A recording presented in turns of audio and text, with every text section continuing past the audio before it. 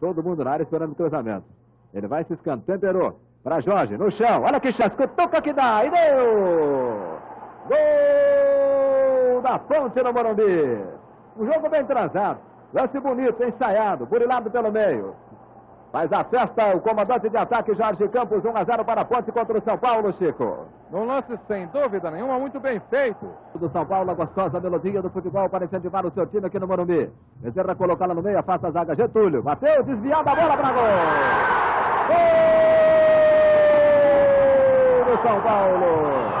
Roda o placar, seu moço. Valeu, valeu o incentivo da plateia tricolor. Acendendo o estopim no ânimo do São Paulo. Nesta fase complementar. A bola chutada por Getúlio, bateu, desviou no zagueiro, tirou completamente Carlos na jogada. Um para o São Paulo, um para a Ponte Chico.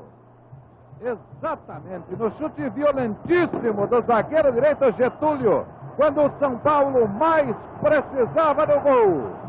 Getúlio